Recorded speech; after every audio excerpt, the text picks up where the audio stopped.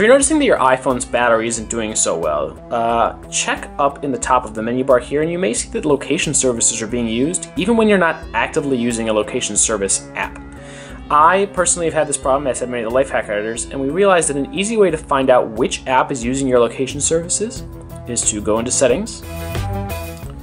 Location Services,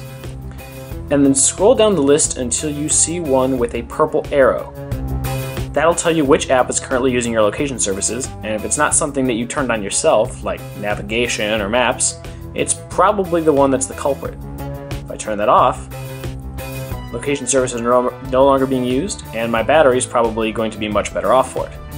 Now, in a lot of cases, you actually may be able to go into the original app as well, in this case, an app called GoTime,